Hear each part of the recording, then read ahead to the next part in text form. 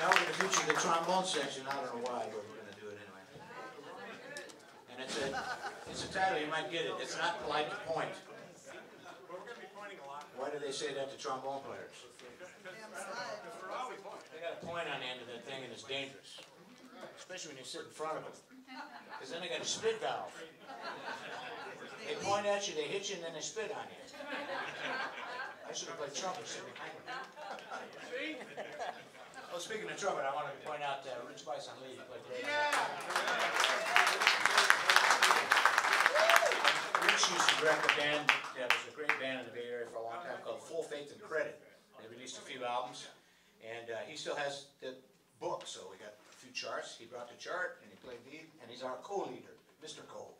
Leader. Mr. Cole. All right, here we go. It's not polite to point, featuring the trombone section. All of them are gonna play. Watch out. I can't wait.